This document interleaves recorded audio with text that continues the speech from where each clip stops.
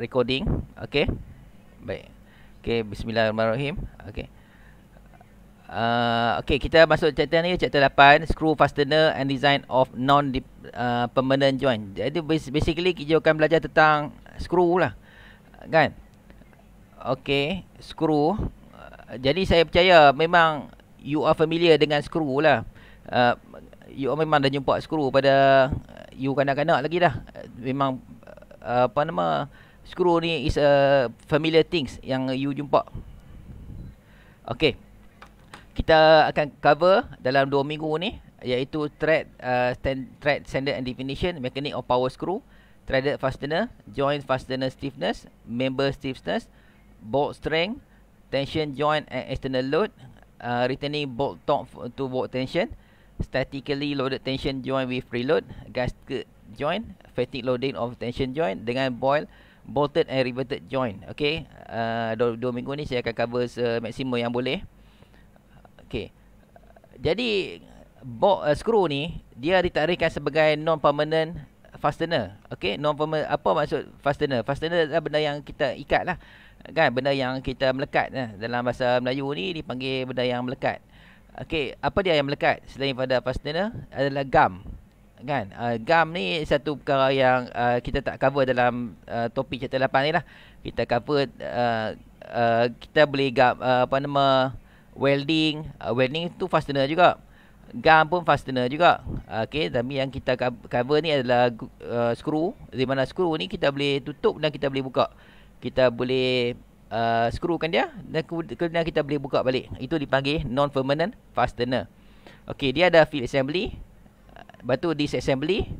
Lepas tu tujuan dia adalah untuk maintenance dan juga adjustment. Adjustment ni maksudnya kita nak alignment bagi dia uh, sama straight lah sebagainya lah. Kan itu alignment lah. Okey ni dah nomenclature untuk screw iaitu straight thread standard and definition. Okey uh, apa ni?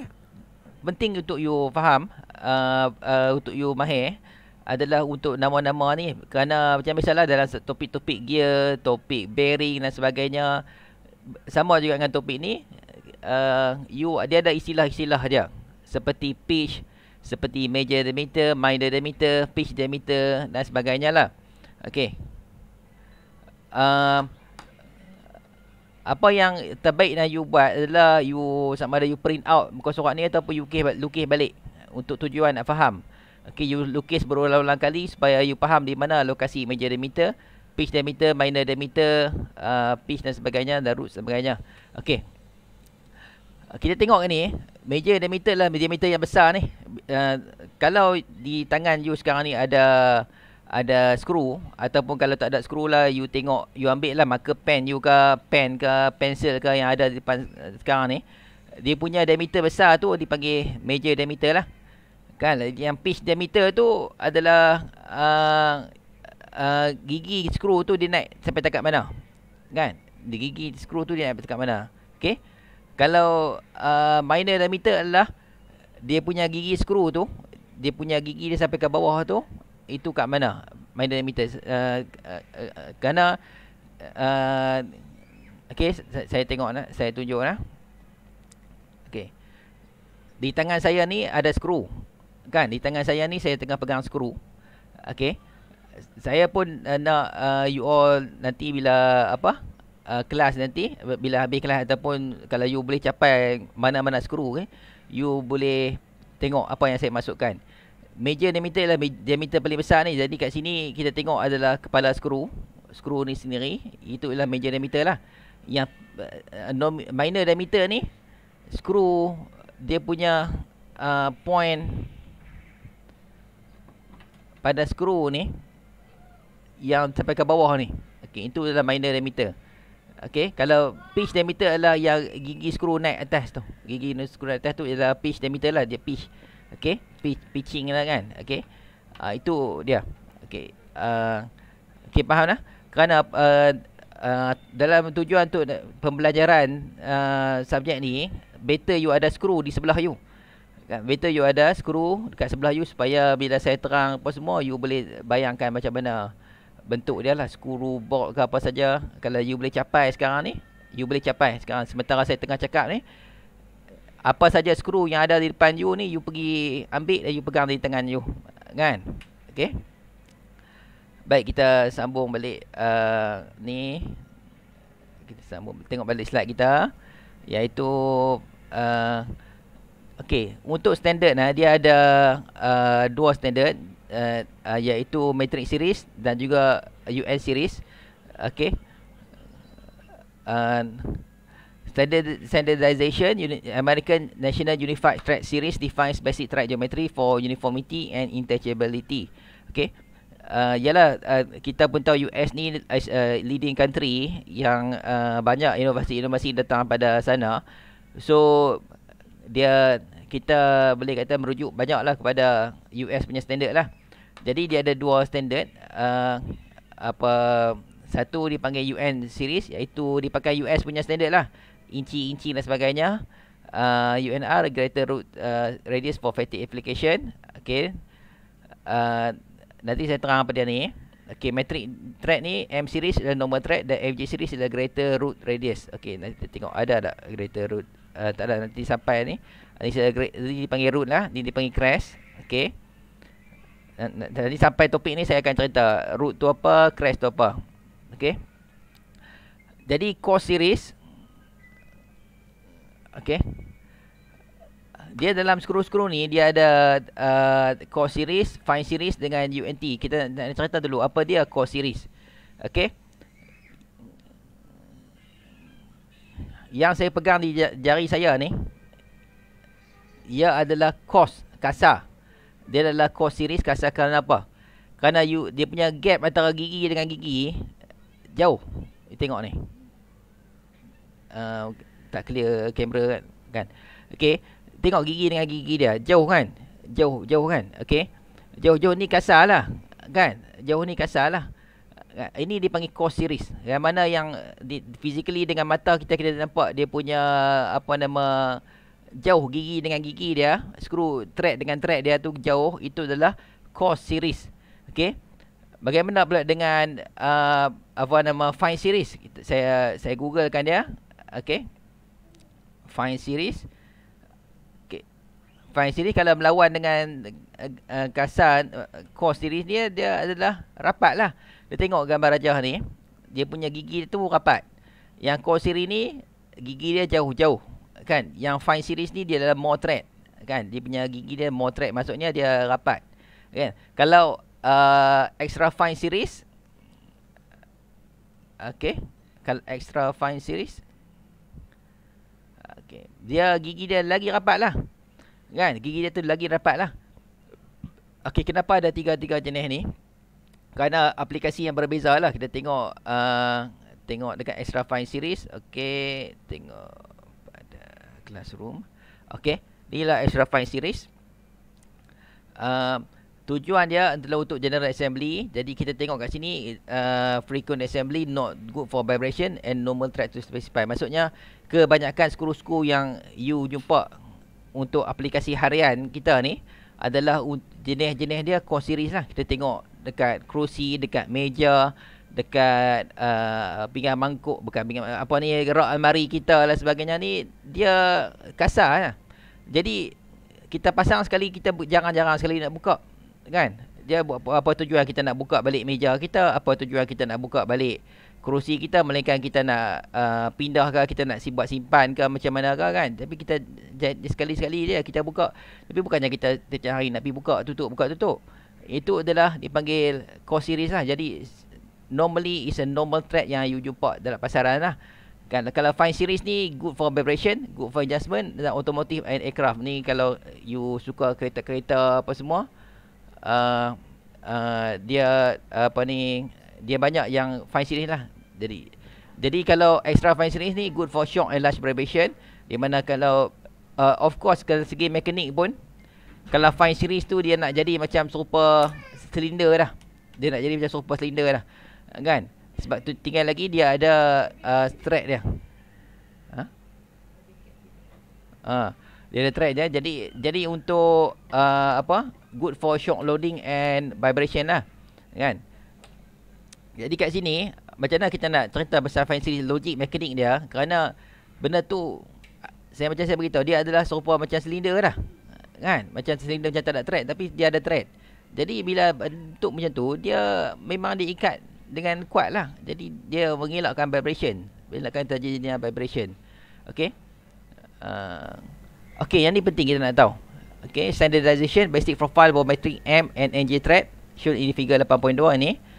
Table 8.1, 8.2 define basic dimension of standard thread. Okay, yang ni basic dimension lah. Kita cerita yang ni dulu. Okay.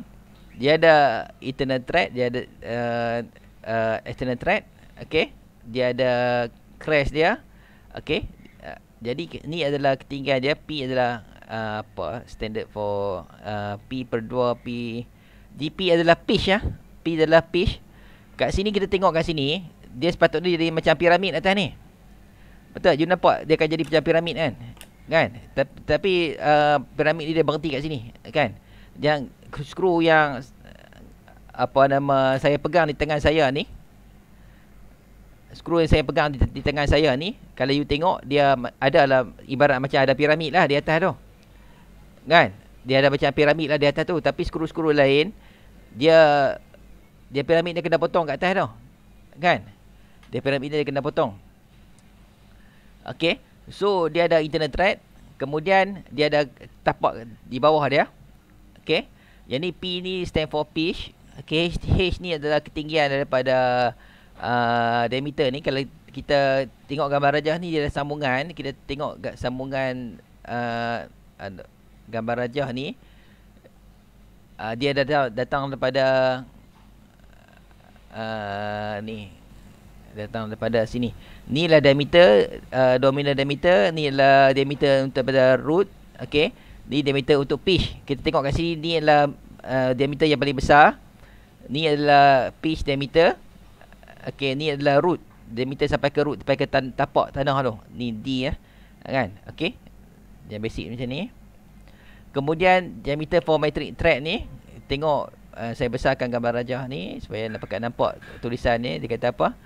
Okey, table 8.1 uh, tajuk dia diameter and areas for coarse pitch and fine uh, fine pitch metric diameter. Dia ada nominal major diameter D, ada pitch diameter P, ada coarse pitch area tensile stress area. Uh, okey. Tensile stress area lagi saya cerita. Dia penting untuk kita tahu ni. Batu major diameter, batu ada fine pitch series. Dia ada. Jadi kat sini uh, fine fisheries ni dia start dengan diameter dia uh, nominal diameter dia 8 uh, dia berhenti uh, 1.6 sampai uh, 8 sampai 6 saja okey dia start dengan uh, fine series start dengan 8 kerana uh, maksudnya diameter ni uh, 8 mm barulah dia kita boleh buat uh, fine series punya uh, uh, screw thread dia uh, rapat-rapat Okey. Track dia rapat-rapat. Okey, yang ni adalah pula table 8.2 iaitu diameter for uh, unified screw thread. Okey. Dia ada size definition dia nominal diameter, size kosong, pitch thread, core series UNC U, U, UNF. Okey. Ni adalah nama-nama thread tu lah. Uh, okay, unified screw thread diameter uh, tensile stress area saya, saya kena cerita sekali lagi dah sampai slide dia. Okey. Dan ni lah thread per inch. Berapa banyak thread dalam 1 inci. You ambil pembaris. You ukur 1 inci. Berapa banyak thread dalam 1 inci tu. Ha, ni ada kira-kira ni ada dalam 64, 56 thread dan sebagainya lah. Kan? Okey. Dia lebih kurang macam screw jugalah. Uh, macam gear pula uh, punya topik lah. Okey ni dia. Tensile stress area. Apa dia tensile stress? Okey penting. Okey. Tensile stress area is an area of untreated rod with the same tensile area as a treated rod. Its effective area of treated rod to be used for stress calculation. Diameter of this untreated rod is average of the pitch diameter and manual diameter. Okay, kita tengok. Hmm, okay. Baik. Uh, tengok uh, screw yang saya pegang sekarang ni. Okay. Kita ada threaded area. Okay. Kita ada traded area dengan kita ada non traded area Okay, every screw yang sekarang lah kalau you boleh capai mana-mana screw lah you tengok ada kawasan yang ada thread. Dan kawasan di hujung ni tak ada thread. Nampak? Di hujung sampai ke kepala ni, kepala dia tak ada thread. Okey. Ini yang dipanggil tensile stress area. Kerana kat sini dia punya tensile stress sama dengan tensile stress ini. Okey, ulang balik. Tensile stress tu apa? Tensile stress tu apabila satu you satu punya apa nama? Kalau you pergi ke lab, you gunakan mesin uh, mesin uh, you, testing machine dia tarik. Dia tarik. Kan? Dia tarik dia dapat bacaan graf dia. Okey bacaan graf dia tu tensile stress graph tu dia punya satu region di mana uh, apa? Dia dia tak balik ke bentuk asal lah. Uh, dia masih balik ke bentuk asal. Ni saya cerita balik tensile tensile stress kan? Okey. Ini gambar rajah ni apa ni you dah belajar. Okey gambar rajah ni you dah belajar masa tahun 1 dulu. Ataupun kalau pada diploma you dah belajar masa diploma dulu. Okey ini elastic limit yang modulus ni. Yield strength dan sebagainya ultimate tensile strength ultimate tensile stress dan sebagainya ni. Jadi pada pada kalau you tengok graf kalau you ambil getah you tarik getah lepas tu you lepas tangan getah tu patah balik ke bentuk asal. Dia masih lagi di dalam region strength dan dia boleh balik ke bentuk asal. Okey maksudnya dalam bahasa lain selagi mana skru kita ni tak patah uh, itu itu adalah tensile stress area dia. Okey, tensile stress. Saya ulang balik selagi mana skru kita ni kita tak load dan load tu tak patah, ia masih di dalam tensile stress area. Tapi skru ni kalau kita kita letak load yang lebih, dia patah kan? Itu dah sampai uh, breaking limit dah, failure rate dan sebagainya dah.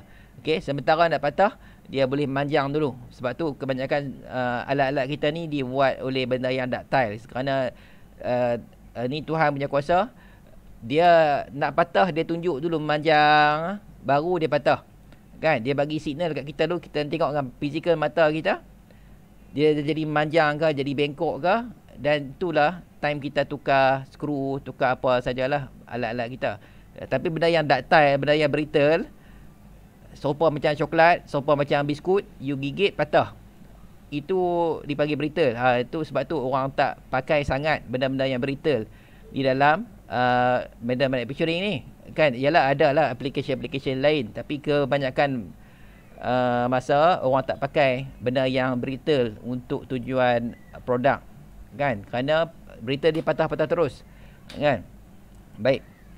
Kita tengok uh, apa balik ke slide kita okey jadi uh, segala calculation tentang thread ni you memang kira kat uh, tensile area lah area yang kosong lah yang tak ada thread kan? Kerana dia punya tensile stress ni sama dengan tensile yang ada thread kan? Okey itu dia. Dalam bahasa mudah saya nak cerita lah. Okey? Square and acme thread Okay, square Archimedes track are used when trader are intend to transmit power. Okay, square Archimedes track ni apa? Okay.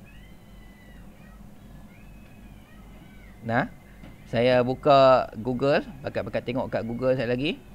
Uh, okay, tengok kat Google square and acme track. Okay. Okay. Ini bentuk dia, gigi dia bentuk macam ni. Gigi dia macam ni. Okay bentuk dia adalah seperti lagu ni. Kan? Archimedes screw. Apa beza dengan thread-thread yang lain? Dia adalah besar. Dan gigi dia tu uh, apa nama flat di atas dia. Dia sama ada dia flat ataupun dia berbentuk ada macam ni. Nampak? Okey, sama ada dia flat ataupun dia berbentuk macam ada trapezium sikit di atas ni. Okey, dan kat mana you tengok ni? Kat mana you tengok? You perasan-perasan ada, ada kat mana ni? Kan? mesin ais kacang. Kan air kacang ni. Okey, mesin air kacang ni, you tengok track dia. Okey. Dia di track lah macam ni lah. Kan mesin air kacang. Nampak mesin air kacang dia punya track dia. Yang ni dipanggil Acme track. Okey. Saya percaya you familiar dengan mesin ni kerana kadang-kadang kita, uh, kita memang kita pernah makan air kacang. Kan mesin air kacang dia punya transmit power dia macam ni. Kan transmit power dia. Okey.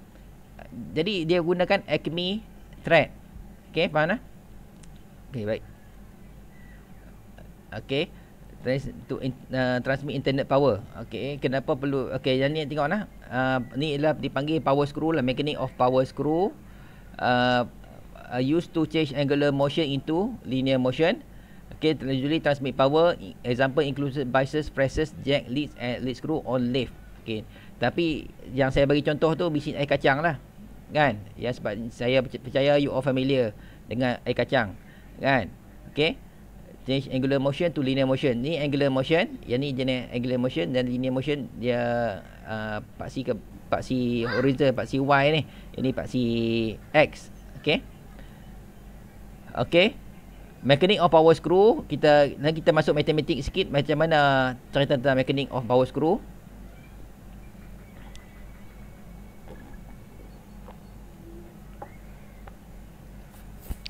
Ya, tujuan kita adalah kita nak uh, find expression for torque required to raise and lower a load. Around one turn of a thread, thread, uh, three thread as inclined plane and satu lagi adalah do force analysis lah lupa nak tukar slide. Set. Baik. Lupa nak tukar slide. Uh, okay, mechanic of power screw. Kita tujuan kita nak buat mathematical expression ni untuk kita nak find uh, force uh, torque required to raise or lower a load. Unroll one turn of a thread. Thread uh, as inclined plane and do force analysis. Okay. Kita tengok uh, matematik ni. Bila kita translate benda ni kepada free body diagram, kan kita tengok track ni okey dia tujuan kenapa orang yang buat uh, apa nama equation ni dia gunakan Acme track ni. Dia tak guna track dia tak guna skru-skru biasa. Kerana mudah dia nak buat uh, illustration dan bagi orang faham dia punya teori tu nak apply untuk lain-lain jenis skru pun sama is same theory okey jadi benarkan track ni skru ni adalah besar punya skru memang berat besar dan berat dan uh, bila dia nak cerita ke orang pun orang mudah faham. Okey dan dia ambil contoh ni sebagai uh, expression untuk buatkan mathematical equation untuk dia. Okey kita tengok kat sini. Force dia datang dari bawah. Okey kenapa force datang dari bawah? Kita ambil mesin air kacang ni. Kan? Bila benda ni ke bawah Okey, ibarat force ni datang ke bawah lah, dia boleh turun dan dia boleh naik. Okey, kita ibarat benda ni ke bawah lah. Pasal contoh dia nak mendekat air kacang menjadi ais tu.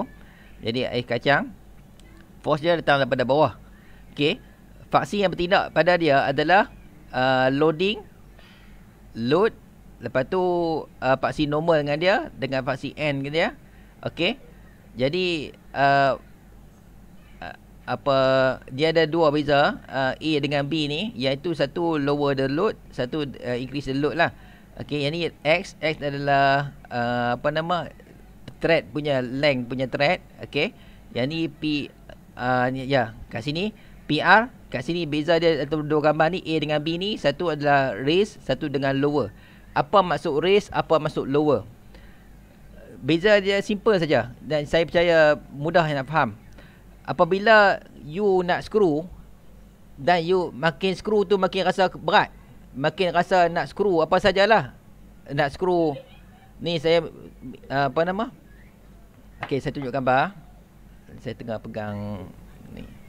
Okey baik. Apa nama minyak rambut? Ni saya minyak, minyak rambut. Bila saya screw dia makin lama makin kerat makin lama makin ketat makin lama makin ketat. Kan? Dan saya sampai saya tak boleh screw dah. Kan? Bila saya go beyond that dia akan merosakkan thread screw ni. Itu bila makin lama makin berat, makin lama makin berat ia adalah raising the load PR. Ia dipanggil PR, raise raise the load. R tu raise, mana raise the load. Apabila saya opposite dia, saya buka minyak rambut saya ni, screw ni, saya buka dia dan makin buka makin senang nak buka. Makin buka makin senang nak buka. Ia dipanggil PL. Uh, apa? lower the load raise and lower raise and lower okey raise makin lama makin makin ketat okey makin berat itu adalah raise dan uh, lower uh, lower tu makin bila kita unscrew dia dia makin ringan. Dia makin senang nak buka. Itu itu lower the load. Jadi itu istilah dipanggil tu R dengan L. R stand for raise L stand for lower. Lower the load raising the load. Okey boleh faham kot tak kat tu? Kan? Okey baik kita tengok uh, okey kita tengok slide balik okey uh, okey So, for raising the load, maksudnya kita makin lama makin kita rasa berat, masih rasa kuat. Jadi pada paksi X, force pada paksi X adalah PR, rose, uh, load untuk raise, sama tolak dengan PN. Sin uh, gamma tolak uh, friction, okay, coefficient of friction. And cos theta tolak kosong, sama dengan kosong. Okay. Dan untuk paksi Y, negatif uh, F, tolak uh, uh, friction load. And sin theta uh, sin gamma tambah n okey cos uh, gamma okey jadi kat sini apa tu f? F adalah force pada paksi x dan force pada paksi y. P adalah uh, load load kita ni. Load datang pada mana? Kalau kita gunakan jari kita load tu datang pada jari kita lah kan kalau kita guna uh, motor load tu datang pada motor lah. Kan okey? Uh, jadi tu load lah. Tak kira lah load daripada jari kita ke tangan kekuatan tangan kita ke kekuatan load kita ke dan sebagainya.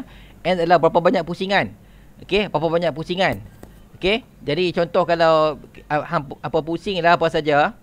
Berapa kali pusing itu itu tu adalah n kan? Berapa kali unscrew itu adalah n okey sin theta adalah angle dia uh, f adalah coefficient of friction di mana kat sini uh, kalau you tak letak apa dia ada friction. Kalau you tak minyak friction dia kurang. Dia panggil coefficient pun kurang.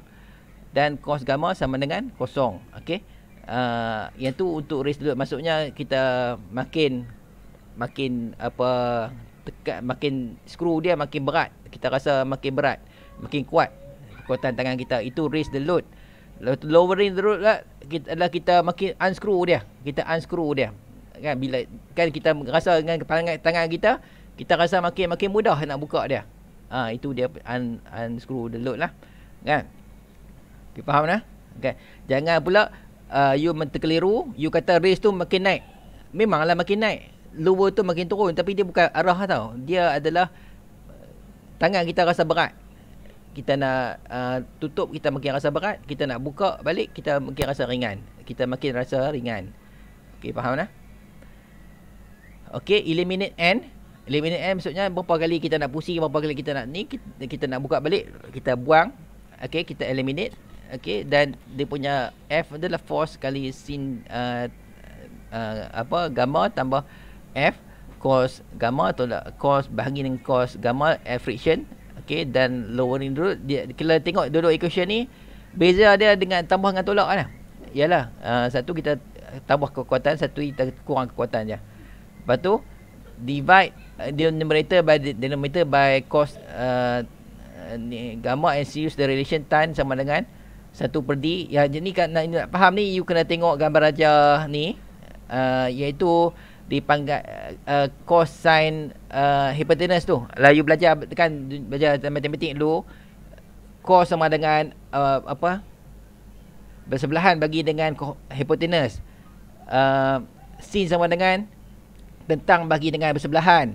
Ha, tangent sama dengan ten, uh, tentang bagi dengan bersebelahan. Ha itulah macam mana you dapat equation ni. Okey, tangent ni sama dengan tentang bagi dengan bersebelahan you dapat 1 uh, L bagi dengan pi dm iaitu uh, L tu tinggi dia tinggi skru ni tengok pada gambar rajah ni lah. Ni ni ni gambar rajah ni bagi dengan pi dm ni. Okey, tangent ni tangent ni tentang bagi bersebelahan L ni tinggi tinggi skru ni bagi dengan apa nama uh, pi dm pi dm adalah diameter ni diameter skru ni pi dm dia okey. You dapat equation uh, ni. Dia bahagikan dapat equation untuk ni. And then noting the torque is the product of force and uh, mean radius. So torque sama dengan uh, torque you pun tahu equation asal dia adalah torque sama dengan force kali dengan radius. Uh, itu equation asal jangan lupa. Ia serupa dengan moment. Ia serupa dengan moment punya equation. Moment sama dengan uh, force kali dengan radius juga. Tapi beza dia torque ni adalah benda yang berpusing lah. Okey uh, suka saya uh, apa? Just nak uh, uh, uh, ni apa revision balik. Torque tu ibarat kalau you tukar tayar kereta tayar kereta you pancet di tengah jalan tepi highway you tukar tayar spare. Bila tayar spare tu ringan bila ringan tu kita nak pusing dia pun ringan. Kemudian you ambil tayar uh, tayar yang you pancet tu you letak kat bonnet belakang balik you nak golek pun berat kerana tayar tu sendiri berat berat datang pada mana datang pada force uh, mass of the berat tayar yang berat tu lah kali dengan radius dia. Okey, kita tu kita rasa uh, apa nama force tu, tong tu adalah yang uh, berpusing. Equation dia adalah datang pada force kali dengan radius. Okey, so datang pada uh, uh, kita terbitkan equation ni. Force sama dengan uh, tong sama dengan uh, F dm per 2 uh, L pi F dm bagi dengan dm tolak FL. Begitu juga untuk lowering the road. Uh, beza dia tu adalah uh, kita rasa berat dengan kita rasa kurang lah. Okay. Jadi kat sini apa dia makna dia? Jadi kita nak relate uh, kalau kita tengok apa nama screw kan? Kan kita nak pakai motor ke kita nak bergerakkan satu something something adakah motor kita ni uh, kuat untuk nak gerakkan dia? Kan? Jadi kita tengok torque, berapa torque yang dipakai. Kan? Uh, yang tu yang tu kita punya torque lah. Uh, tok pada mesin. Contohnya you nak beli uh, apa ni? Power drill ke? Kan? Power drill saya okey. You tengok ni ada power drill. Kan berapa berapa tok uh, yang di boleh di uh, dipusing oleh power drill ni dia ada beritahu berapa banyak power ada beritahu. And then uh, kita boleh tahu berapa lama kita pakai berapa banyak, banyak elektrik yang kita pakai dan sebagainya kita boleh buat calculation sikit uh, tentang ni. Kan? Uh, itu tong lah. Kan? Sebab tu ber, tu berpusing. Okey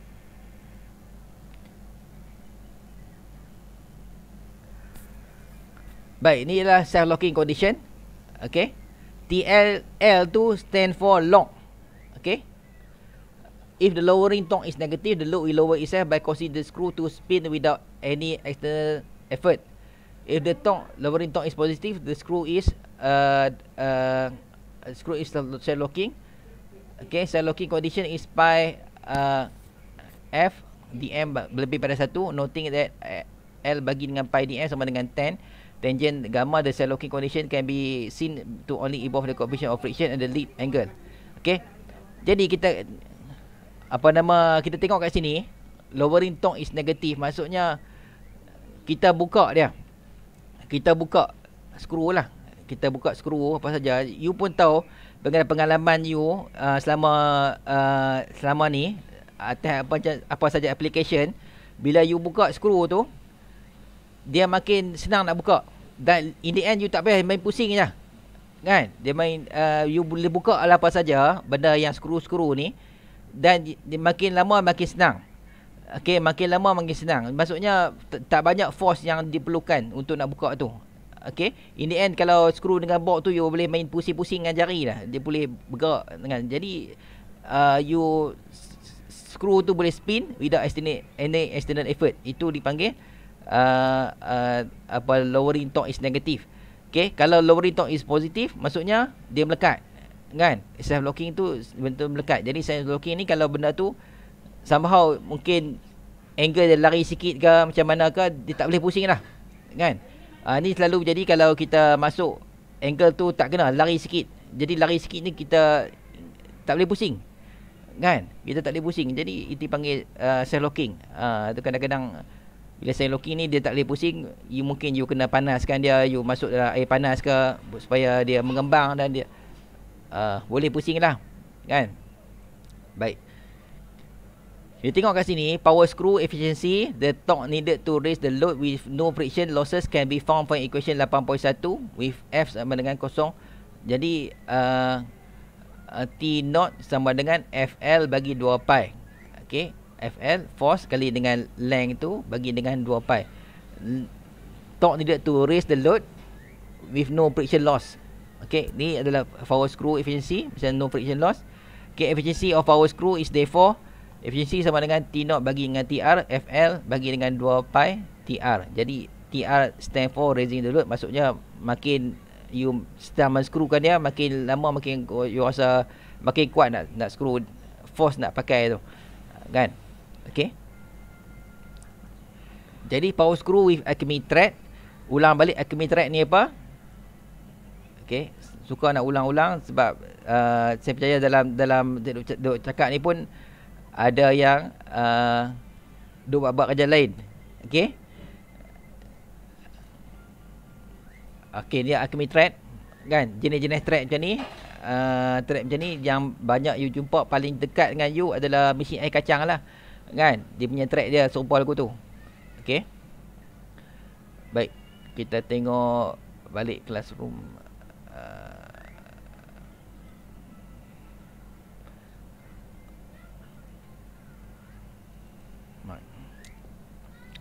If Archimedes is used in thread or square thread, the Archimedes thread uh, creates a wedging action. Okay. Uh, the friction components are increased. The torque necessary to raise a load and tighten screw is found by dividing the friction term in by cos uh, alpha. Okay. Kita tengok Archimedes thread ni. Dia dia sengit. Dia bukan square. Kan? Dia ada angle sikit. Okay. Archimedes thread ni dia angle sikit. Okay. Berbeza dengan square thread. Dia bentuk uh, macam tembok tu. Dia bentuk tinggi-tinggi semua flat dia 90 darjah. Ha ni Archimedes ni dia ada angle. Bila ada angle, apa saja yang ada angle dia panggil wedging action lah. Kan? Macam you makan you pergi KFC makan potato wedges. Ha, bentuk itu wedges. Bentuk seperti wedge. Ha, itu uh, wedging lah. Okey. Maksudnya dia dia ada angle lah. Kan? Jadi bila ada angle, di permukaan yang in, in contact tu makin banyak sebenarnya. Permukaan yang ada angle ni, dia permukaan yang in contact adalah banyak. So, uh, so the torque necessary yang tu sebabkan ada permukaan yang lebih banyak sikit, jadi torque dia equation tu ada uh, apa ni ada equation dia tu pakai second uh, second equation lah ni trigonometry macam lah kan okey Okey, Kuala friction. Okey, Kuala, Kuala tu apa pula? Okey, Kuala, Kuala tu apa? Additional component of torque is often needed to account for friction between a collar and a load. Assuming the load is concentrated at the mean collar diameter. Collar tu apa? Collar tu macam collar baju. Okey, saya buka gambar ni.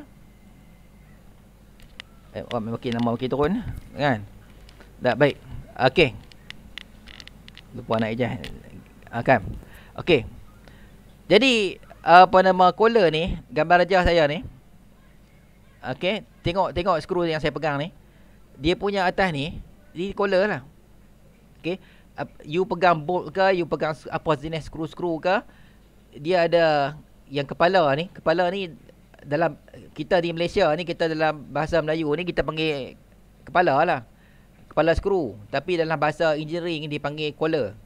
Kan? Okey. Tak apalah untuk tujuan pembelajaran panggil kola lah. Nanti tujuan bersembang dengan pakcik-pakcik pakcik-pakcik kat kampung tu yang tukang-tukang rumah tu dia dia kata you kata kola dia kata kola baju ke? Kan dia kata kola baju ke? Okey bukan kola baju. Kan? Tak dia adalah kepala. Kan kepala skru. Okey dalam bahasa kita kita panggil kepala skru. Bahasa dalam bahasa kejuruteraan kita panggil kola. Kan? Tak apalah. Tak ada masalah pun mana-mana istilah pun. Nah. Okay, baik. Uh, okay, additional component of torque is often needed to account for friction between a collar and a load. Assuming load is concentrated by the mean uh, at the mean collar diameter DC, TC itu adalah uh, torque pada collar iaitu F sama dengan F friction pada collar DC bagi 2. Kenapa collar penting? Kenapa collar penting? Kerana Okay, saya tunjuk gambar lah tunjuk saya saya ibarat kita tengok uh, okey tengok ni collar ni you boleh imagine lah bila saya uh, bila you apa skrukan ni skrukan apa nama apa ni atas dia dekat dekat satu batang pelik lah. Kan? Yang akan merosakkan pada sheet metal tu adalah kepala dia. Kan? Jadi dia akan nampak denting nampak jadi tak cantik. You bayangkan kereta you kan? You buat lah apa saja work kat kereta you, you pelekat apa saja. Tapi tengok-tengok uh, you you screw terlebih. Terlebih sikit screw tu dia akan jadi denting pada sheet metal tu. Pada kereta you nampak tak cantik. Kan ini adalah uh, ni collar tu penting jadi kita kita gunakan apa nama gasket ke kita gunakan apa apa saja uh, washer washer dipanggil washer uh, untuk nak nak kurangkan load supaya tak merosakkan permukaan sheet metal yang kita melekatkan dia lah. Ha, itu tujuan collar ni. Jadi collar ni sebaiknya kita screw dia elok-elok kan ngam-ngam je. Jangan sampai dia nampak denting dengan fizikal mata kita pun kita nampak dia denting kan. Okey. So baik. Um,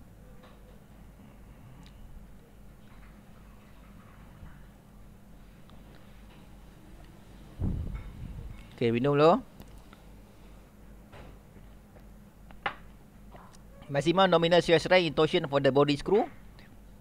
Torsion sama dengan 16 uh, uh, T bagi dengan pi D03 R. Axial strength in screw body uh, axial strength sama dengan force bagi dengan area sama dengan 4F bagi dengan pi D02. Okey. Saya cerita shear stress dulu. Kemudian saya cerita axial stress. Okey, kamu pun tahu uh, shear stress ni apa? In shear strength in torsion ni apa? Jadi kalau benda tu you berpusing kan okey you pusing dengan laju kan you pakai sana power drill baik okey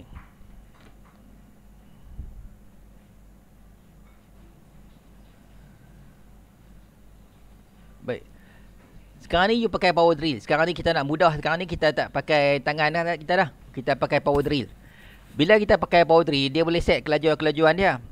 Kan? Kelajuan dia laju sekian-sekian ya. Kan? Okey, cerita dia apabila you you apa lekatkan skru pada power drill dan you pot, uh, apa nama skrukan dia lah. Skru action dekat dia. Dia memang berpusing dengan segala RPM RPM dia. Tapi dalam masa sama dia juga ada shear stress yang terlibat. Jadi kalau kita uh, ya uh, kita skru dengan lebih kekuatan dia akan patah batang skru tu dia akan patah kan tapi tak terjadilah uh, sekarang uh, apa nama logiknya bila skru-skru yang you beli kat kedai memang dia uh, dah kira ada kekuatan dia, dia dia takkan patah lah tapi you cuba bayangkan kalau satu skru ni mungkin you ganti dengan apa sajalah benda-benda plastik ke kan instead of skru besi yang you beli kat kedai dalam application you you ganti dengan dengan skru plastik dan you pusing dengan dia bila you pusing dengan dia uh, apa nama silap-silap dia patah lah. Kan? Dia patah kerana apa? Kerana shear punya action lah. Shear stress pada torsion tu lebih. Kan? Okey? Macam mana kita calculation shear stress tu adalah calculation daripada sini lah. Uh, uh, okey tengok balik equation uh, equation ni. Nak shear stress sama dengan 16 tok bagi dengan pi d03 r. Okey? Diameter radius bagi dengan uh, torsion. Jadi kita perlukan daripada uh, apa nama tok kekuatan kekuatan batang skru tu sendiri kan tapi selalunya normally you beli standard skru insyaallah tak patah lah kan okey batu axial stress in screw body tu datang daripada mana pula datang daripada uh, axial stress again saya buka gambar raja uh, Google ni okey Agent stress datang daripada mana? Tengok gambar je drill screw ni. Datang daripada action uh, yang you tangan you telah sedang menolak skru tu masuk. Kan? Sekarang ni you bayangkan you tengah drill, uh, you sedang drill dinding lah. Kan? You sedang masukkan skru dalam dinding. Dinding kayu ke, dinding besi ke. Tak kisah. Apabila you tolak dengan jari, you tolak dengan tangan you masuk ke dalam, menggunakan uh, kekuatan badan you, tangan you masuk ke dalam, itu ada axial stress. Itu ada axial stress. Jadi stress yang uh, ke hadapan. Okay, sebab tu apabila you buat kerja-kerja pertunggangan ni, dia mestilah straight 90 degrees. Kan? Jangan pula you uh, ada angle-angle pula, masuk sengit lah apa sebagainya, dia akan patah lah. Kan? Dia akan patah lah. Okay, faham lah? Itu axial stress. Tengok balik uh, slide dia. Okay. Jadi datang pada empat ni semua ni uh, apa ni adalah equation derivation semua saya tak sentuh uh, macam mana lah uh, untuk derivation dia tapi you terima adalah equation ni okey okey jadi bearing stress in uh, stress in threads in power screw uh, bearing stress in thread okey stress bearing sama dengan F bagi dengan 2 pi bearing stress bearing stress when n is the number of engaged threads okey saya tengok balik bearing stress uh, Kejap lah.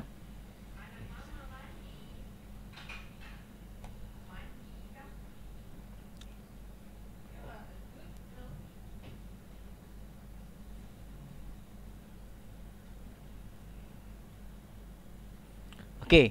Bearing stress is the contact pressure between two separate body. It differs from compressive stress as in uh, internal internal stress caused by compressive forces. Okay. Uh, sikat. Nah, nah. Okey. Baik. Uh, apa ni bearing stress is the contact pressure between two separate body. Okey, ni tengok gambar aja kat Google ni. Okey. Dia ada dua body dah. Sekarang ni ya of course lah bila you screw kan satu benda tu dia memang diikat dua dua dua body tau. Kan? Diikat dua body ni satu body satu body dua body tiga. Dia mesti ikat uh, tiga body punya kan? Tu kurang-kurangnya uh, dua body tapi selalunya tiga body lah. Macam contoh skru saja apa saja. Okay, tiga body melekat. Tiga-tiga body ni uh, ini dipanggil bearing bearing stress kan? Okey dia contact pressure between two separate body. Ni ni ni uh, apa? Ni body pertama ni body nombor dua ni body nombor tiga. Di di tempat yang di contact kan dia tu dia ada dipanggil bearing. Dia panggil bearing stress. Okey? Kan? Fine bearing stress ni tempat yang dia melekat antara kedua-dua tu. Uh, itu dia panggil bearing stress ha? uh, okey sebab minggu lepas baru you belajar tentang general bearing, roller contact bearing dan sebagainya. Itu lagi you clear pula dengan subjek kita. Kadang-kadang kita subjek kita ni agak mengelirukan kan. So tak apalah. At least saya cerita bearing stress ni apa tempat yang dia melekat.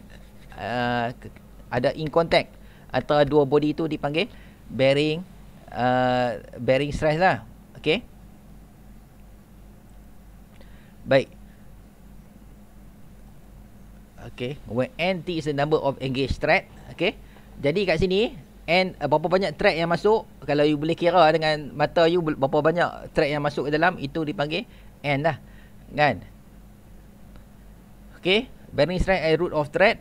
Z sama dengan satu uh, I bagi dengan C iaitu I sama dengan pi dr nt bagi uh, p per 2 kuasa 2 bagi dengan 6 okey uh, so sama dengan pi per 24 dr nt p kuasa 2 m adalah uh, fp per 4 iaitu uh, stress pada bearing m per z iaitu fp uh, equation dia akan jadi 6f bagi dengan pi dr nt p. Kita tengok kat mana lokasi-lokasi dia. Uh, P per 2 ni DM adalah nominal uh, apa ni diameter dia tu. F tu adalah force yang kita masukkan. Okey dan ni torque tu adalah torque yang kita pusingkan dan sebagainya lah. Okey. Jadi stress in thread in power screw transverse shear stress at center of roots of thread sama dengan uh, pi 3V bagi 2A yang ni question stress in thread hmm.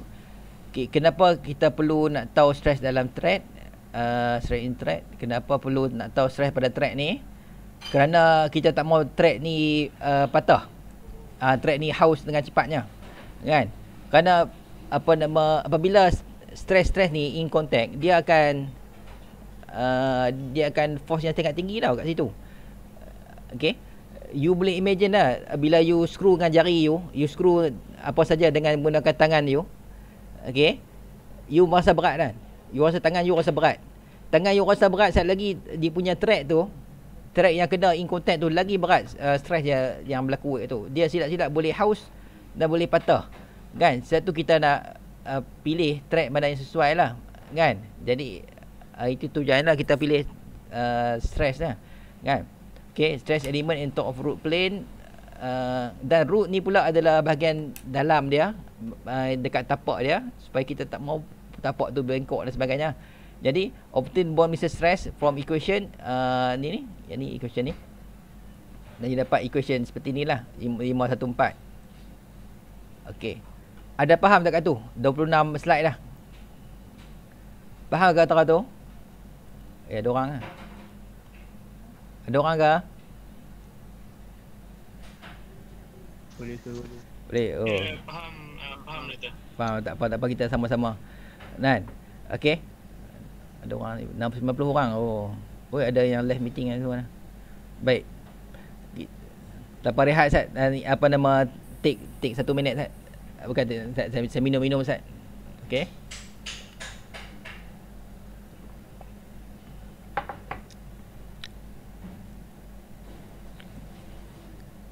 Okay Okay uh, Apa nama Kita tengok dekat Track deformation in screw nut combination Kan?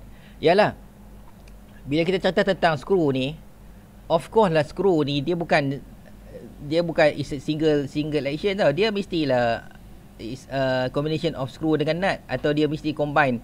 Atau antara apa saja plate ke sheet metal ke apa saja. Kalau you, contoh you nak screw meja dengan kerusi you nak screw kan uh, apa saja kat meja you. Uh, kayu tu dengan batang screw dengan washer dia dan sebagainya dia ada combination je.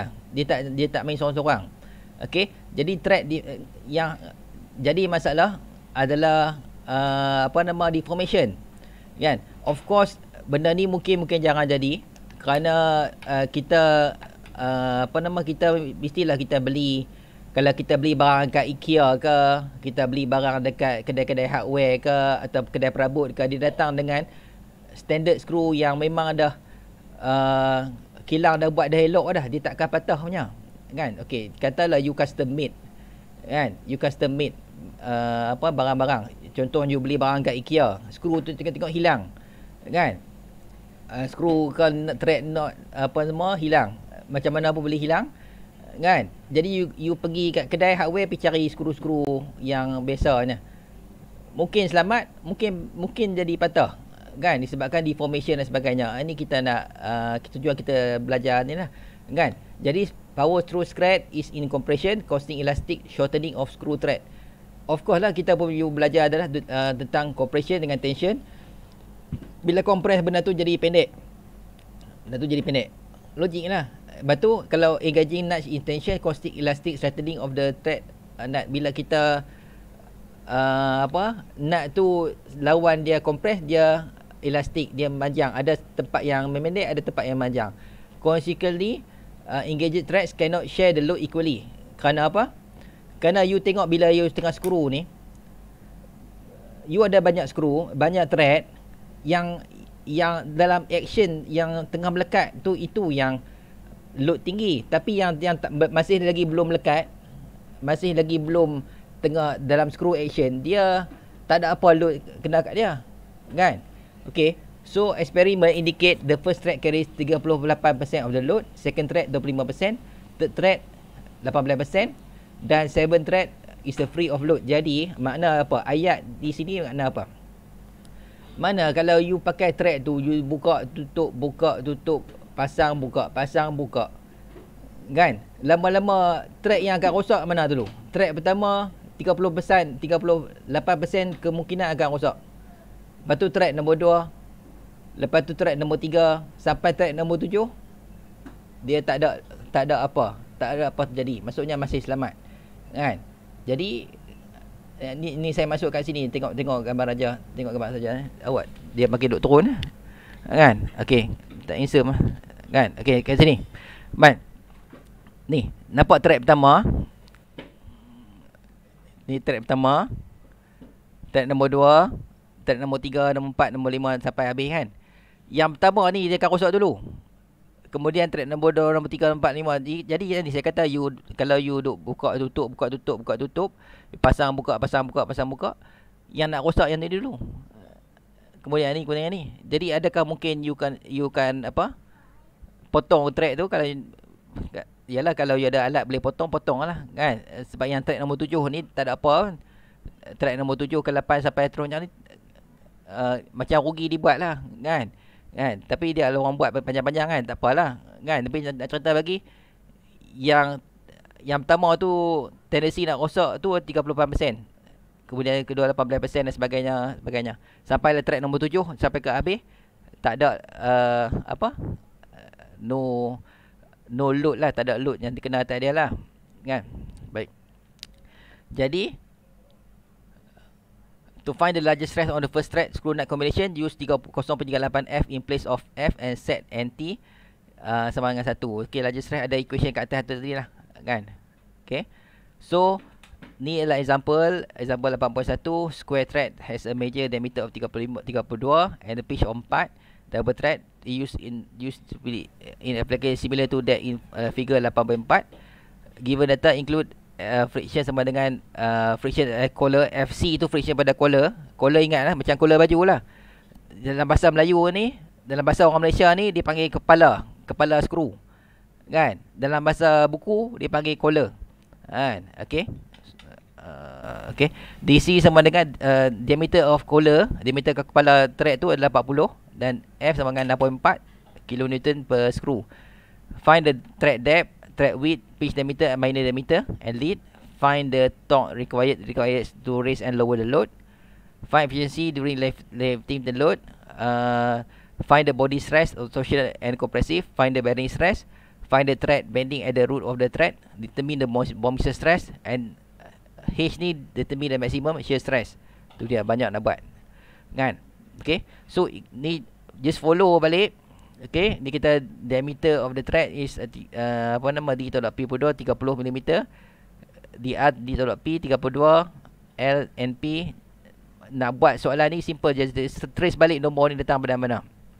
Okay, dan kita akan you akan dapat jawapan dia lah. It's a very simple, straightforward.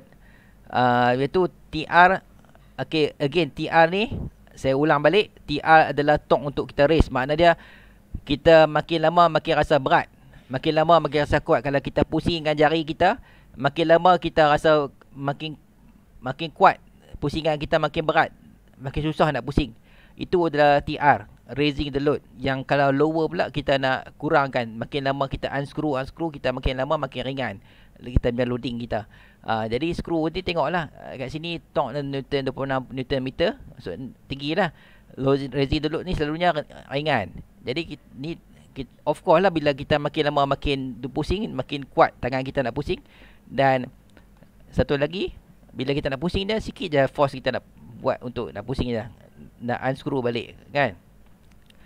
Okay minus sign uh, in the first term indicate the screw alone is not self locking and would rotate under action except for the load uh, the fact the collar friction is present and must be overcome. Thus the torque required to rotate the screw with the load is less than necessary to overcome the collar friction Okey, apa halangan kat sini? Apa ayat ni maksud? Kan? Maksudnya uh, bila kita nak pusing skru tu dia bukan melekat. Dia bukan melekat dah, siap. Okey, tapi bila kita nak uh, kita nak unscrew balik, kita kena overcome collar friction. Okey, kepala punya friction.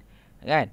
Sebab tu apabila you screw kan apabila you screw kan something, dia akan jadi uh, bending lah kan kita tengok dengan fizikal mata you pun dia akan jadi ada denting ada denting pada permukaan tu. Jadi permukaan tu sebabkan you letak lebih load lah. Okey uh, you letak lebih load tu yang terjadi uh, uh, denting okey sebab kita kita kena overcome dia kita lebih pada sikit pada kekuatan collar friction tu lah. Okey so overall efficiency in raising the load is E sama dengan F ni uh, body shear body shear stress to do to do to uh, torsional moment TR outside the screw body is T sama dengan 16 T okay? Uh, nominal uh, stress is yang ni equation dia. Uh, bearing stress carry 0.38 yang ni yang tadi acceleration uh, pada slide sebelum ni tadi. Kita tak terus pada 0.38 sebab kita tahu uh, first thread carry 38% of the load. So kita tak terus 38 sebab first thread. Okay. Uh, so dapat negatif 12.9 megapascal thread root bending stress 0.38. Jadi jadi makna apa? Makna apa nombor-nombor you dah dapat ni? Makna dia kalau you dah tengok nombor dia sampai megapascal punya region kan. Memang kena pakai motor lah. Tak mungkin tangan you, you boleh sampai kekuatan sampai megapascal ni. Tangan jari kita is impossible boleh sampai kekuatan megapascal punya region. Kalau you secara matematik you, you kira dah sampai megapascal, memang jawapan dia kena pakai motor lah nak bergerakkan dia. Kan? Tak boleh pakai dengan jari, kekuatan tangan tak boleh. Manusia tak kuat seperti tu. Kan? Uh, dapat. Okay. Jadi transverse shear as extreme rotation cause to bending is zero. Okay. Kerana uh, kat sini kita pun tahu ada masalah bending. However, the circumferential shear stress at extreme root cross section is stress as shown in uh, figure 6.07 megapascal. Three dimensional stress. Uh, okay. So, dapat equation ni. Ni missile stress, dia dapat equation ni. Okay. Saya tertarik nak cerita kat you kenapa bending ni is, uh, can happen. Okay. You tengok gambar raja thread ni. Uh,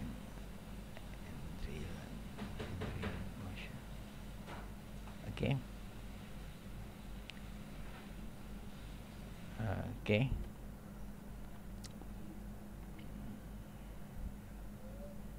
Hmm, baik. Tengok ni. Nampak? Uh, apa nama uh, drill lah tak kira lah apa saja brand kan jadi saya google kan lah saya ambil mana apa saja brand yang ada. Okey. Sekarang ni you tengah do drill tau. Bila you tengah drill, tengah drill, sepatutnya memang you drill straight badan you nanti drill 90 darjah. 90 darjah drill masuk ke dalam. Tapi kadang-kadang uh, orang yang tak mahir, dia bengkok. Dia bengkok kiri, bengkok kanan dan sebagainya. Apa jadi pada batang skru ni? Batang skru ni jadi bending. Bila bending silap-silap lama-lama boleh bengkok, boleh patah dan sebagainya. Inti kita nak elakkan lah. Uh, jadi amalan yang tepat adalah drill 90 darjah straight masuk ke dalam. Kan? Jangan bengkok-bengkok. Kan? Bila bengkok-bengkok tu yang jadi masalah. Kan? Okey. Okey. Faham dah? Baik, kita tengok uh, okey. Alternatively can you you can uh, determine principal stress and uh, use equation 5 12 to find the bomb missile stress. Okay. Uh, this will helpful in evaluating uh, stress maximum as well. Okay. The principal stress can be found from equation 315. Okay. Bila disebut 315 ni, makna dia apa? Makna dia di dalam buku teks tu, you buka balik chapter 3 lah. Saya tak ingat chapter 3, chapter apa. Uh, chapter 3 ni, saya, saya buka buku teks chapter 3 chapter 3 adalah tentang uh, tentang load and uh, stress analysis load and stress analysis. Dalam buku teks yang sama ni chapter 3 adalah tentang load and stress analysis okey tak apalah nanti balik ada masa you buka balik lah. Macam tu cara belajar pun okey however the sketch of stress element and and note there are no shear stress on the x face means that uh, stress pada paksi x is principal stress. Remaining stress can be transformed using plane stress equation. Equation 3.13 again bila dimension equation pada chapter lain ni kena balik buka buku teks balik chapter 3 lah. Thus remaining principal stress uh, yang ni equation dia dapat equation ni ordering the principal stress given by ni adalah yang ni dapat 8.47 inilah cara untuk semak alternatif kita pakai untuk bond missile stress punya. Jawapan dia sama. Okey. Bond missile stress ni uh, dalam subjek finite element memang banyak belajar lah tentang bond missile stress. Lebih kurang loosely definition adalah stress pada tiga-tiga paksi kan you ada paksi y paksi x pada paksi z. Kan? Okey yang saya cerita ni is loosely translation, translation bukannya translation yang tepat translation nak lebih kurang supaya nak mudahkan faham. Kan kita ada paksi kalau kita ambil satu kotak kotak empat segi dan kotak empat segi tu dia ada enam uh, apa nama enam permukaan kan? Okey? Uh, permukaan depan belakang semua tu kira ke ada enam permukaan. Okey? Bomb stress tu dia kira uh, untuk semua enam-enam permukaan punya stress tu lebih kurang tu lah kan okey itu jadi calculation tu nampak macam complicated lah tapi actually basically kalau you renung balik dia adalah stress pada 6 6 permukaan kotak yang empat segi tu Kan? Okay. Uh, maximum shear stress adalah yang ni giving shear stress sama dengan ni dapat 25.7 uh, megapascal. Okay. Uh, so bolehkah tara tu? Bolehkah? Okay.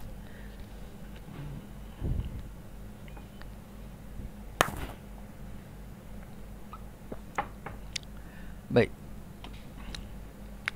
Kita tengok kat sini pula. Uh, bearing screw uh, safe uh, power screw ba- safe bearing pressure.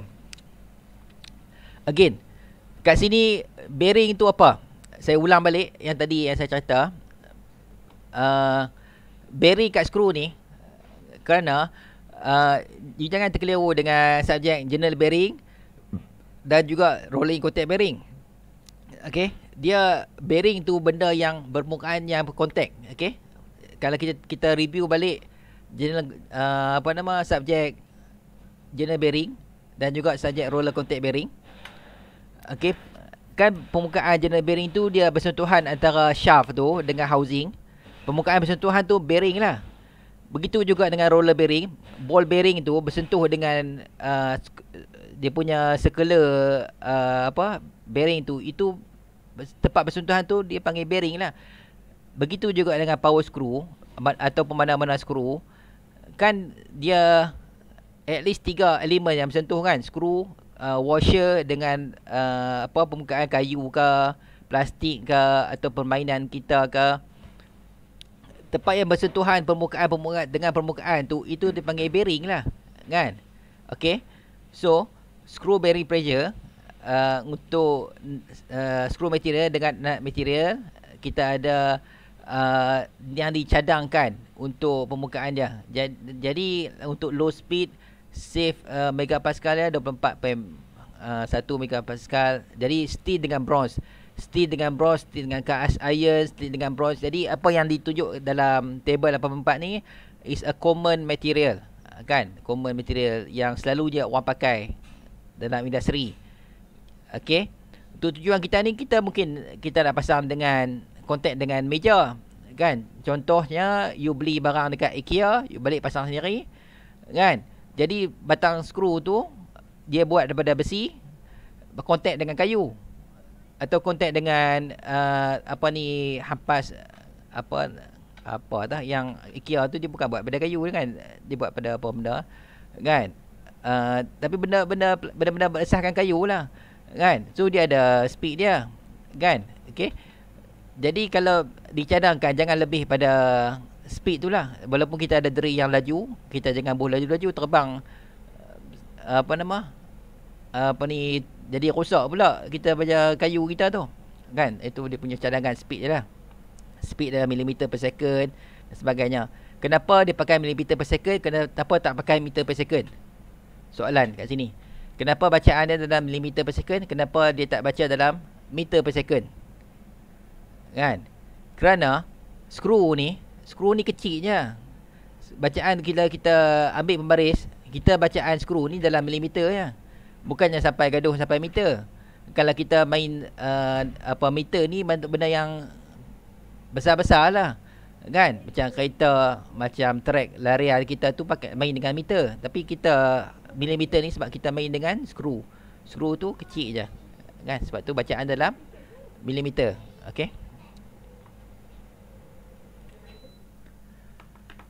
Okay, power screw friction coefficient. Okay, friction coefficient uh, Uh, dia ada uh, steel dengan dry, steel dengan machine oil dengan uh, bronze. Okey. Ni adalah friction coefficient. Dia pakai huruf F tadi. Okey. Lepas tu thrust collar friction coefficient. Okey. Yang ni kepala skru ni. Kan? Okey.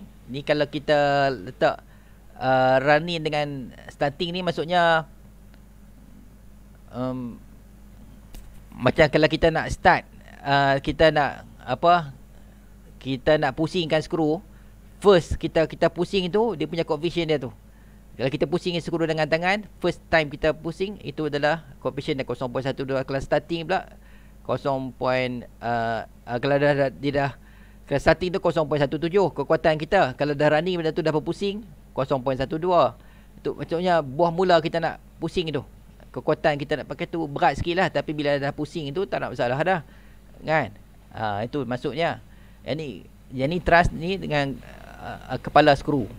Kan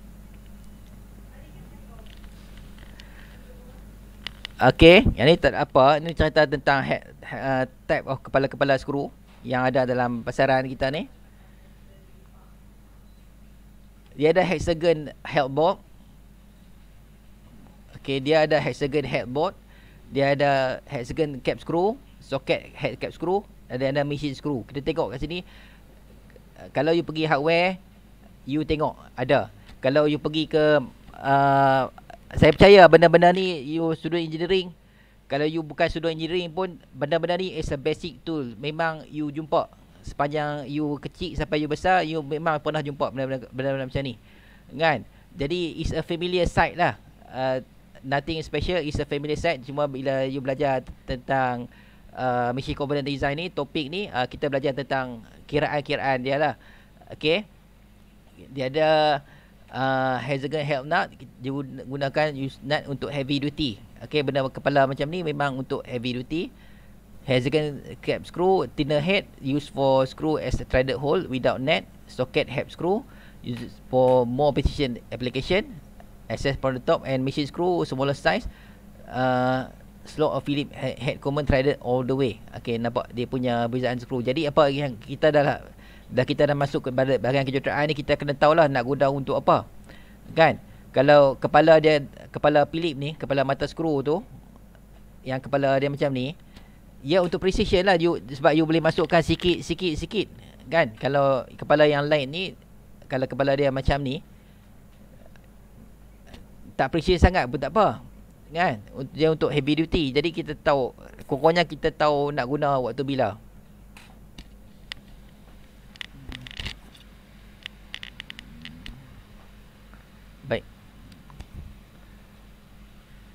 Uh, hexagon held bolts are one of the most common for engineering application. Standard animation include in table A29. Uh, A29 ni tengok buku teks dia kat muka surat belakang-belakang tu. Kan? W is usually uh, is about 1.5 times the nominal diameter. Okay. Maksudnya diameter yang uh, okay. Tengok gambar raja ni. Okay ini ni dometer yang yang saya tengah pegang dengan jari saya ni inilah nominal dometer dia punya skru ni kepala ni. Ni ini dia kepala skru ni. Ha, itu ada diameter yang uh, apa? Diameter apa dah uh, ya dia punya W lah. W dia besar besar dia lah kan? Kisahnya 1.5 kali. Okey? Baik Okay. Okay, threaded length uh, dalam English punya bacaan uh, unit English dan juga metric punya unit. Okay. Dia ada dua bacaan. Kenapa? Kerana uh, mungkin you nanti berdili dengan syarikat-syarikat daripada US dan sebagainya dia pakai English uh, unit. Okay. Dan kita ada untuk Malaysia kita pakai metric unit. So tak apalah jangan jangan mix up pula. Okay. Nut pula okey appendix A31 ni ada di belakang-belakang muka surat dalam buku teks ni. Jadi rajin-rajinlah nanti buka buku teks. Uh, okey. Uh, first three nuts of nut carry majority of load localized plastic strain in first track is likely so nuts not be used in critical application. Okey kat sini apa masuk dia ayat ni? Jadi apa masuk plastik? Plastik tu benda yang uh, boleh berubah. Boleh berubah bentuk tak boleh balik ke bentuk asal. Itu plastik lah. You tengok uh, apa nama? Plastik kat rumah kan? Apa saja plastik lah. Contoh kalau you terkena api kan? Bila kena terbakar kan? Bila terbakar uh, plastik kat rumah tu apa saja barang-barang plastik you bas, bas, masak apa ni you bakar dengan lighter dia jadi dia jadi bentuk terbakar tu kan? Uh, contohnya terbakar lah. Tapi apa beneficiation of plastik maksudnya benda tu jadi jadi rosak dan tak boleh balik ke bentuk asal. Kan? So jenis-jenis macam ni kita pakai sekali je lah. Kan? Kita pakai sekali je. Jadi first three types of nut carry the majority of load. Maksudnya kalau you dah buka Sekali dua pakai, main tiga kali pakai, ganti barulah. Kan? Okay, sebab dia, dia dah rosak, jangan duk sayang ke, ke duit. Ganti baru tu. Okay. Tension loaded bolt joints. Okay. Grip length includes everything being compressed uh, by bolt preload including washer.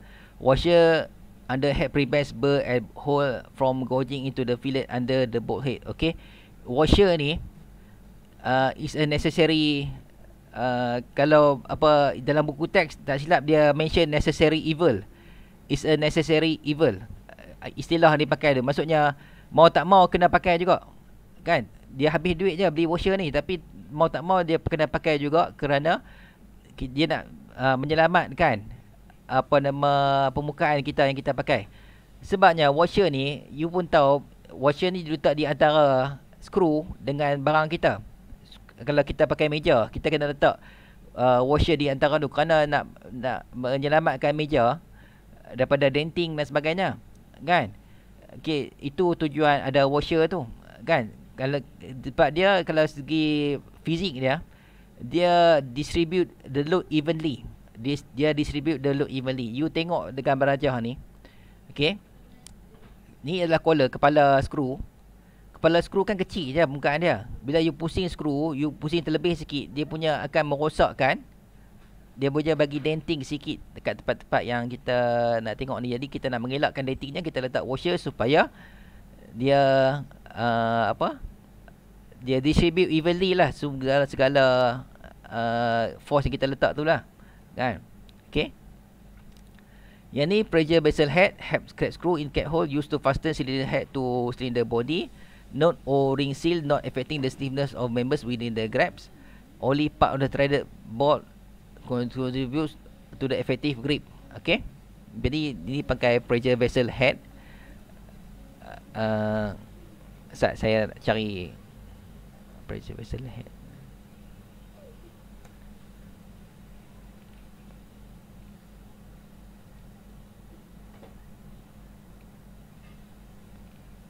Hmm, okay. Ya. Uh, ni pressure vessel head ni antara gambar rajah yang ada di dalam Google pressure vessel head ni. Okey.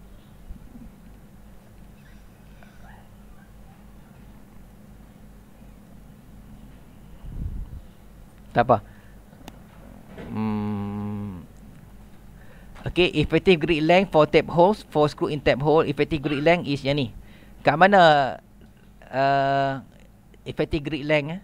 Maksudnya dalam skru yang panjang-panjang tu Okay Dia punya grip dia Kan tempat yang ada L tu lah L tengok gambar aja L tu kat mana L L Okay Jadi kita tengok L tu kat mana Kita tengok gambar aja ni L kecil L kecil Di mana lokasi L kecil L kecil kat sini Jadi di antara Dua permukaan Di antara ada washer Ada uh, Barang kita nak tu Dengan barang kita melekat Katalah ni adalah uh, meja you.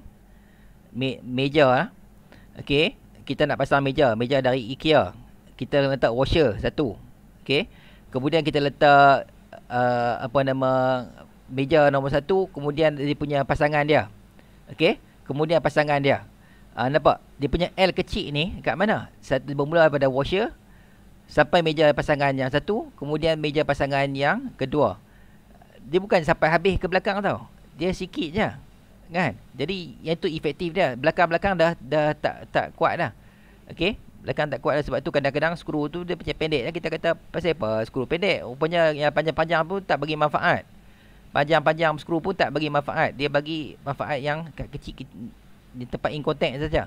Okey so moral of the story uh, uh, tak perlu kita beli skru panjang-panjang. Kalau kita kita ada buat pandai buat calculation kita calculate kita beli skru yang yang sederhana pun cukup dah. Sebab yang panjang-panjang tu tak memberi manfaat pada uh, uh, grip dia. Okey okey bolt joint thickness uh, stiffness uh, okey bolt during preload bolt is stretched members in grip are in compressed okay when external load p is applied bolt stretch further uh, further member e-grip angka compress some joints can be modeled as a soft bolt spring in parallel with a stiff member spring. Okey, kat sini kita tengok. Okey. Jadi apa masuk preload ah? Okey. Masuk preload ni bila you dah letak apa you dah ikat dah bolt tu. Okey. You boleh bayangkan apa saja bila you letakkan bolt tu you dah ikat dah. Tapi ikat ikat pada-pada saja bukan ikat kuat-kuat. Nampak? Ikat sederhana sahaja. Jadi dia bagi letak dalam position kan? Sebab saat lagi you nak uh, apa? You nak you nak pusing, you nak ikat lagi kuat.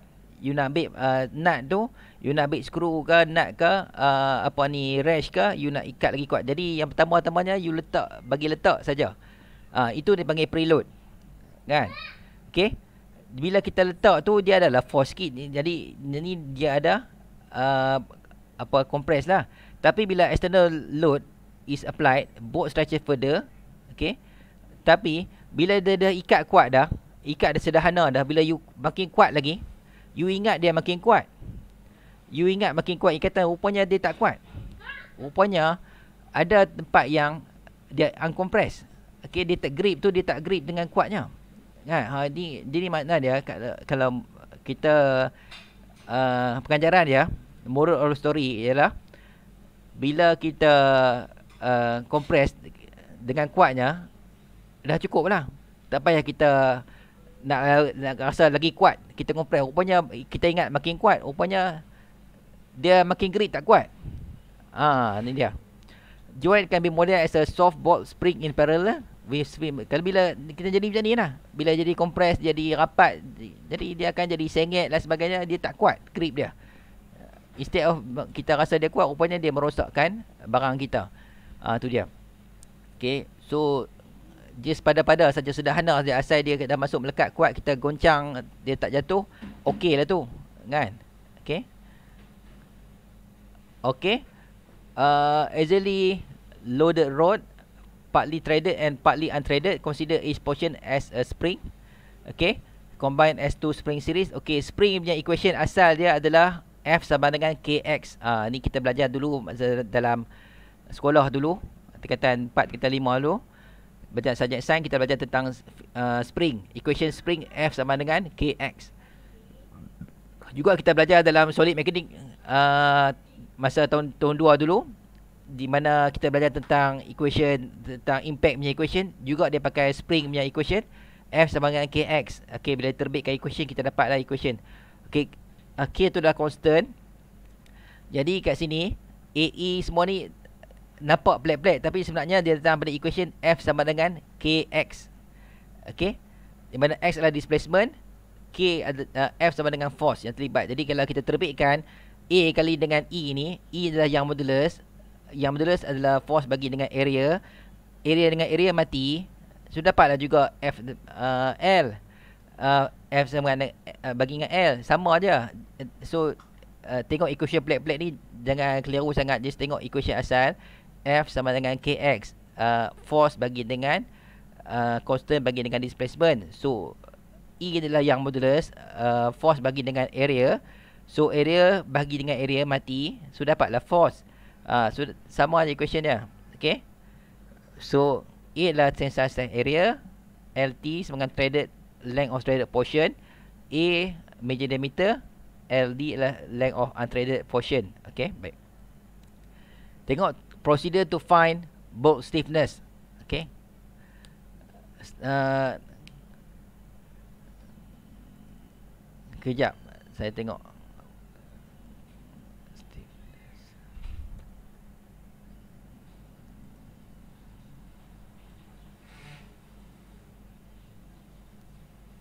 Okey.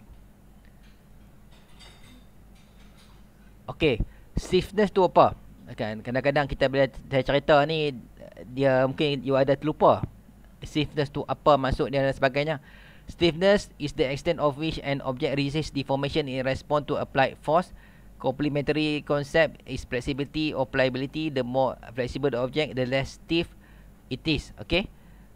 Uh, uh, stiffness is the extent which object resist deformation maksudnya kalau benda tu keras kan jadi benda tu keras lah dia tak tak bengkok-bengkok itu stiffness okey kalau kita tengok uh, benda yang bengkok apa? Macam rotan lah. Kan? You dulu mengaji Quran. Ustazah tu kata apa? Ustazah tu bawa rotan. Ustaz tu bawa rotan. You mengaji tak betul, dia, dia tibai belakang. Kan? Itu stiffness lah. Benda rotan tu dia mula fleksibel. Kan? Okay. Stiffness tu dia benda yang dia straight. Dia, dia tak dia tak bengkok-bengkok. Okay? Bengkok orang tu lah maksudnya. Okay.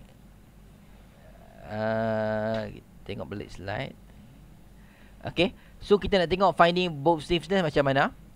Given fastener diameter uh, D and fish M, uh, fish P in millimeter or number of thread per inch, washer thickness T. Ambil pada table 3A32 or A33. Uh, yang ni kita tengok kat muka surat belakang nanti. Dalam buku teks dia ada table ni. Nut thickness uh, H from table A31. So grip length L sama dengan thickness of or material squeeze uh, between face bolt and face of nut. So dapat ni. Okay. Untuk B T lebih kecil pada D. Uh, T2 lebih untuk satu lagi condition T2 lebih besar daripada D. Okay. Tengok bila tengok equation pelik-pelik ni cari lah uh, apa ni tengok kat mana lokasi huruf L, lokasi huruf uh, H dan sebagainya you tengok. Okay. Kemudian uh, fastener length uh, L lebih besar pada L tambah H dan sebagainya just follow prosedur ni lah uh, in the end you akan dapat uh, length of unthreaded portion length of threaded portion area of unthreaded portion dan sebagainya fastener sama dengan KB bahagi ni hmm, makna apa makna dia kita kalau kita dealing dengan bolt yang panjang-panjang adakah dia akan bengkok? Okey, adakah dia akan bengkok? Dia mungkin bengkok kalau force tu banyak. Okey. Uh, ini cerita uh, eksperimen saya dulu. Saya pernah buat satu eksperimen. Saya letak load dia yang tinggi sangat. Patah uh, bolt tu. Uh, apa, saya punya bolt tu panjang. Kan? Dan saya screwkan dia. Dan uh, amazingly force yang uh, terhasil daripada eksperimen saya tu terlampau kuat sampai bengkok terus bolt tu sampai kena pakai drill lah nak potong dia. Kan? Okey. Jadi apa yang menyebabkan kalau bolt kita ni boleh bengkok itu dipanggil stiffness lah. Kan? Jadi kita nak elakkan bolt kita ni jadi bengkok lah. Kan? Terutama bila kita dealing dengan bolt yang panjang-panjang. Kita tengok gambar rajah kat sini bot dia panjang. Dia ada uh, area yang tak ada uh, apa nama tak ada apa ni? Kosong tak ada thread apa. Yang area ada thread. Jadi kita belajar dalam subjek yang uh, slide yang lepas ni. Kita tengok tempat yang bagi manfaat untuk grip adalah di hujung saja di hujung-hujung ni lah. Yang sini tak bagi manfaat untuk grip pun. Okey? Jadi kita nak baca soalan dia adakah the whole structure ni boleh bending? Kan? Adakah the whole structure ni boleh bending oleh sebabkan external force? Contoh uh, uh, kerusi you. You pasang kerusi daripada IKEA. Pasang pasang pasang. Kan? Kerusi tu boleh uh, letak loading untuk kanak-kanak. Kan? Untuk anak-anak you. Tiba-tiba datang uh, orang yang badan besar duduk, duduk atas kerusi tu dia ingat kerusi tu boleh tahan. Untuk kerusi untuk kanak-kanak orang dewasa duduk patah kerusi. Kan? Bila patah kerusi uh, apa nama kenapa kat mana boleh patah? Kerana apa bengkok kat bolt lah. Kan? Uh, bila bolt tu jadi boleh jadi bengkok itu dipanggil uh, bolt stiffness tu ada fail lah. Kan? Uh, itu kita nak cari kat mana. Okey? Jadi member stiffness stress division spread from face of bolt and nut uh, the model of a cone with cut top off is called a frustum frustum ni apa okey Okay, frustum ni kalau you boleh cuba imagine lah piramid dekat Mesir tu. Piramid kat Mesir tu kita potong belah atas tu. Kan? You, saya ulang, piramid dekat Mesir tu you potong belah atas cone itu. Ah uh, yang tu tinggal frustum lah. Ah uh, yang tu bentuk tu dipanggil frustum. Okay? Jadi uh, apa ni stress division from face of the bolt and nut model as a cone with uh, cut top cut off. Uh, macam piramid kat Mesir tu kita potong belah atas. Itu dipanggil frustum. Okey. Jadi stress distribution distribution dia datang pada situ. Tengok stress dia paling kuat di sebelah tengah. Permukaan yang kita bercantum cantuman antara kedua ni. yang grip dia paling tinggi dekat sini lah. Okay. Se- logik lah sebab dia permukaan in contact. Permukaan tu ada contact surfaces ada kedua jadi force dia banyak berlaku di situ lah. Kan? Okay. Jadi stress distribution ni banyak berlaku kat situ. Kerana kat sini kalau you you imagine you screw kan dia dengan ketatnya of course lah permukaan in contact ni dia banyak force yang melekat atas dia. Kan? Okay. Okay. Mod, member stiffness, model compressed members as if they are plaster spreading from the bolt held and nut to the midpoint of grip. Each plaster is half apex of uh, angle of alpha. Ni alpha ni. Find stiffness of plaster in compression. Okay. So kita tengok. Dipanggil member stiffness. Apa maksud member stiffness? Uh, okay. Bolt tu sendiri dah ada stiffness. Macam tadi kita cerita dalam slide yang sebelum ni, finding bolt sendiri, bolt tu sendiri ada stiffness. Tetapi bolt tu sendiri apabila dia uh, bercantum bila you buat screw dia dengan barang-barang, dia jadi member lah.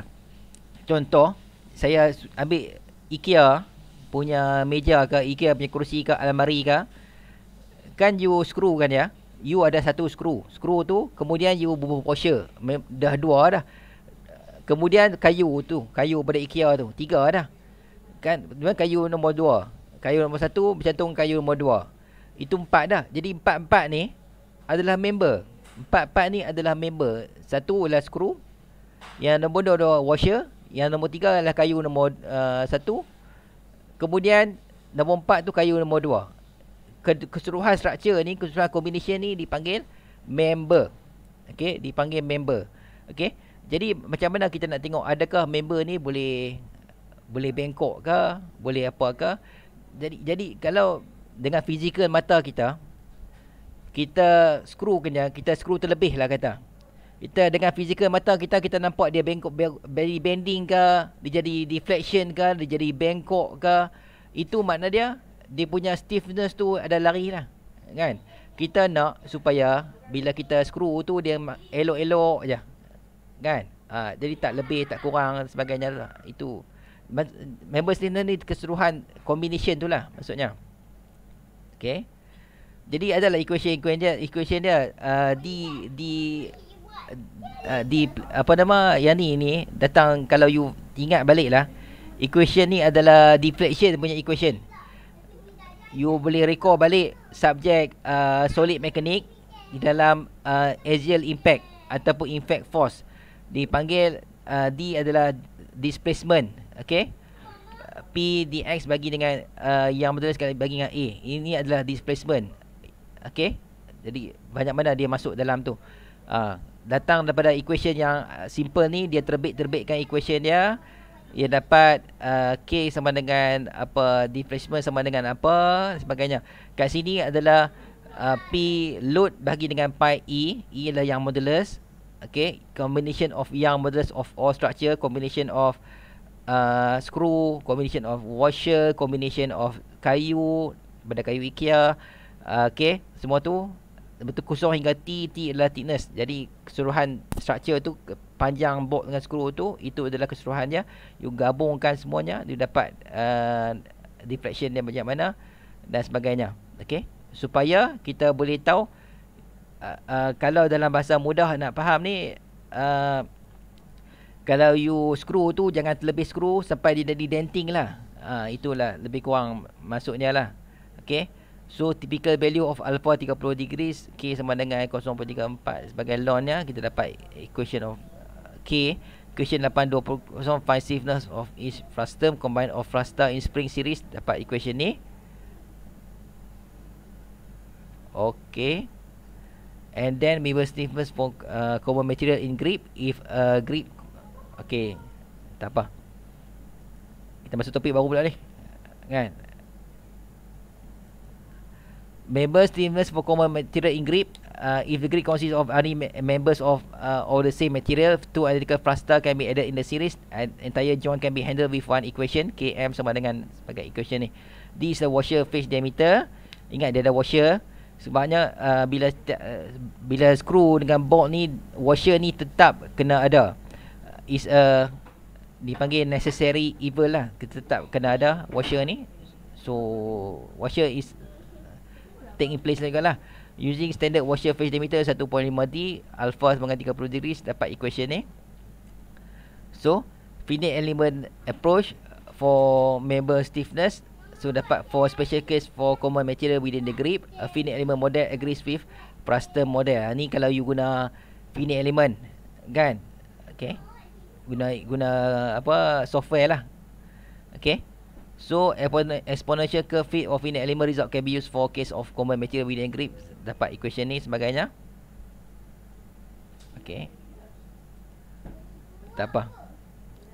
Ni example dia. Uh,